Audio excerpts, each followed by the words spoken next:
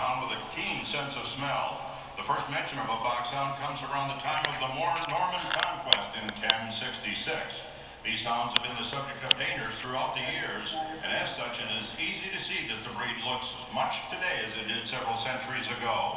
This is English Foxhound, number eight. Think back to the American Foxhound, you can see more girth here, a little stouter dog, larger bones than the American Foxhound. The standard says that the legs should be straight as a post. A dog like this that hunts in a pack that runs down its prey has got to have good free movement.